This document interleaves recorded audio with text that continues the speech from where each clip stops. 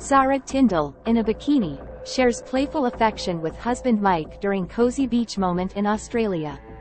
Zara Tindall shared a playful moment of affection with her husband Mike while enjoying a beach day during their annual trip to Australia.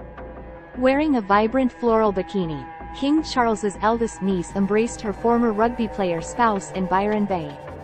The couple, known for their yearly visits down under, were seen taking a refreshing dip in the sea before expressing their love as they dried off.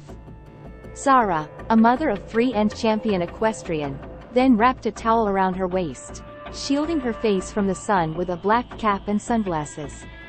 This Australian beach escapade contrasts with their Christmas Day festivities at Sandringham, where they joined the royal family for the annual walk to church.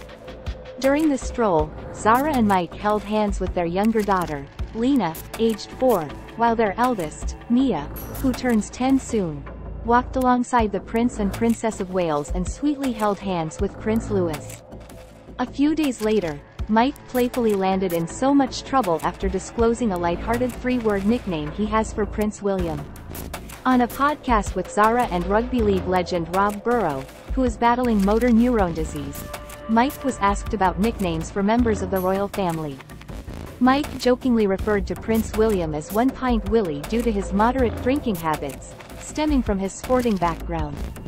Zara, amused, warned him about the consequences.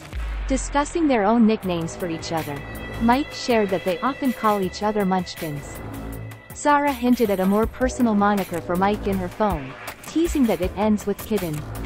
Known for their closeness with the Prince and Princess of Wales and their children, Zara and Mike previously featured William and Kate on Mike's podcast, The Good, The Bad and The Rugby. During the episode, Mike revealed Kate's competitive nature, even mentioning her skills in beer pong. Kate, however, denied being competitive, while Mike and William bantered about their intense tennis matches, describing them as mental challenges.